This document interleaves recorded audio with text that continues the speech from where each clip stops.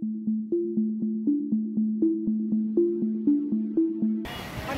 y amigas de Cancún Channel, gracias por estar aquí en la señal. Nos encontramos en la avenida Andrés Quintana Roo, pues para ver los estragos que dejó a su paso el huracán Delta. Bueno, adentro de la casa, pues muy bien. Pero afuera, pues. Sí, este, mucho viento. Yo creo que poca lluvia, pero el viento se estuvo fuerte. ¿Cuántos están colaborando para claro, sí, hasta el ¿cómo se llama? ¿Ah, ¿También hay un refugio? Sí, la escuela, vinieron a ayudar. Sí, gracias, todos bueno, muy bien, gracias. Pues amigos, como ven, también aquí cerca hay un refugio anticiclónico donde turistas están aquí resguardados.